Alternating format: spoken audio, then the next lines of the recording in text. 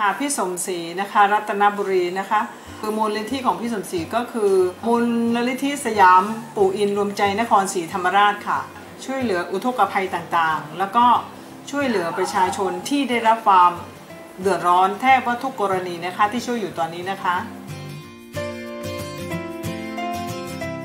พี่สมศรีได้มีโอกาสเจอคุณแม่ที่นครศรีธรรมราชนะคะทุกนั้นจะเกิดอุทกภัยนะคะ พี่สมศรีก็มีโอกาส ได้ไปกราบคุณแม่ คุณแม่จะมาช่วยนครศรีธรรมราช แล้วก็คุณแม่จะเอาหลวงพ่อองค์ดำลงมาด้วยนะคะ ก็เลยได้ไปรู้จักคุณแม่ค่ะ นั่นคือครั้งแรกเลย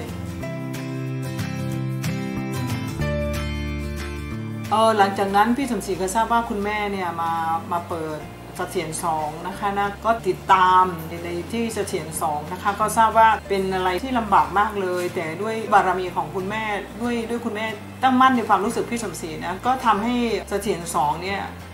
เปลี่ยนไปเหมือนกับว่าพี่สมศรีอยู่ไกลนะคะอยู่ไกลแต่ก็มีครั้งหนึ่งที่พี่สมศรีได้มีโอกาสเข้าไปก็คือทางเสถียรสองคือทางทีมงานของคุณแม่นะคะขอรถออฟโรดมาซึ่งที่มูลนิธิอะ มีสิ่งเหล่านี้อยู่แล้ว แล้วก็ได้จัดรถออฟโรดขึ้นไปนะคะ แล้วก็มีตอนนั้นคุณแม่จัดกิจกรรมแจกของสองตะเกียงนะคะ ที่พี่ถุมศรีได้เข้าไปช่วยนะคะ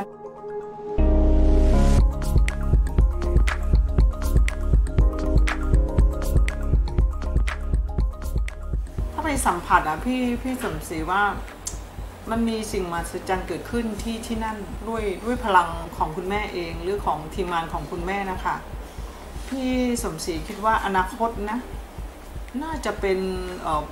ระดับมรดกโลกอะไรประมาณนั้นนะ เพราะว่ามันมันอัศจรรย์จริงๆ ถ้าพี่สมศรีไปสัมผัสด้วยตัวพี่สมศรีนะ ไปแล้วมันทำให้เรามีพลังที่จะกลับมาขับเคลื่อน งานเราซึ่งเรามองว่ามันยากแล้วอะ่ะ เราคิดว่างานเรามันยากแต่ไปที่นั่นอะเอ่อคุณแม่ทำสิ่งที่ยากกว่าเราแบบไม่รู้เท่าไหร่เท่าอะเป็นพันพันๆเท่าอะพี่ว่านะคือสามารถเอามาใช้ ในในในในงานของเราในทีมงานที่โรงงานหรือที่ที่ที่มูลนิธิเราคิดว่าเอ้ยปัญหาของเรา มันมันเล็กมากเลยนะ มันแก้ไขได้นะ ถ้าไปดูงานที่ที่หุบขอมาแล้วนะคะค่ะ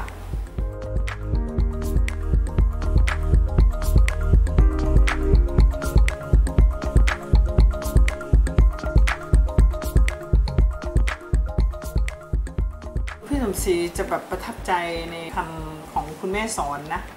แล้วก็เอามาปฏิบัติก็คือคุณแม่บอกว่า ให้ทำปัจจุบันอะคือเราอยู่ตรงไหนอะให้เราทำให้มันดีที่สุดอะพี่สมศรีว่ามันมันตอบโจทย์ได้เลย เราทำไปสิ่งที่เรายืนที่จุดๆนั้นให้มันดีที่สุดอะพรุ่งนี้ไม่ต้องคิดถึงเอาเอาตอนนี้เลย นั่นคือตัวเองก็ใช้แบบนั้นอยู่เหมือนกัน เพราะว่าพอได้ยินคุณแม่เหมือนมากระตุ้น คือทำเวลาปัจจุบันเนี่ยให้มันดีที่สุดอะมันเป็นพลังเนาะพอได้มาแบบนี้เออ มันก็จริงนะเราเราทำตรงนี้ให้มันดีที่สุดอะไม่ว่าเราจะเดินไปสถานที่ไหน หรือว่าจะไปอยู่กับใครอะเอาเอาให้มันดีที่สุดอะ